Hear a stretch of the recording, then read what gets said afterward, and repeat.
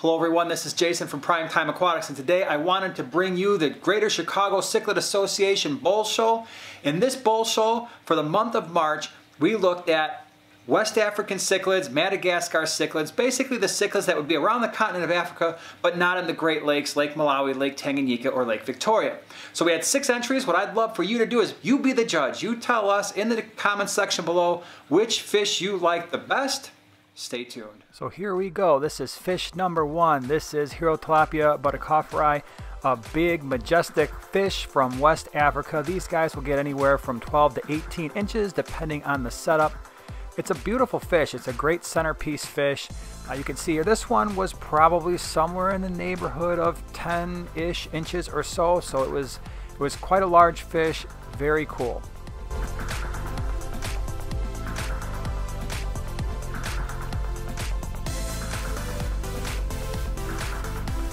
Fish number two, this is a really cool fish too, Paretroplus maculatus. Uh, this is a fish from Madagascar. This was pretty close to full size. It, it's, it's not too far away. We're looking at a fish here that in the video is probably in the neighborhood of seven inches or so. They'll top out somewhere around that eight inch range. The colors here aren't really showing as well as they would normally show in a home aquarium.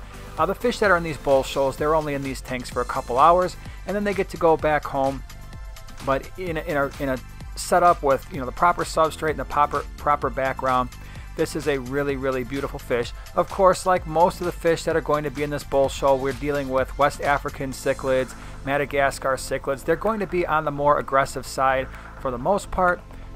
You have to choose your tank mates wisely. So this is Pelvic Kribensis, Lobe.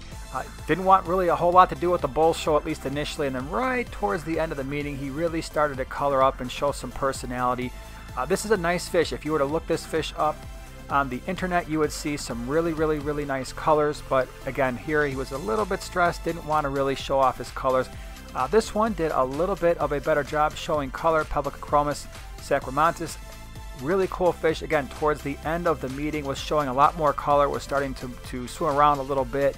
And, you know, one of the things in our bowl shows, it, it, works out better when the fish get here a little bit earlier, get a chance to settle in, get used to their surroundings. They wind up showing a lot more color and being a lot more active later. These are really cool fish, Paratilapia bleekeri. Uh, these are from Madagascar. They're aggressive. This is a very small specimen.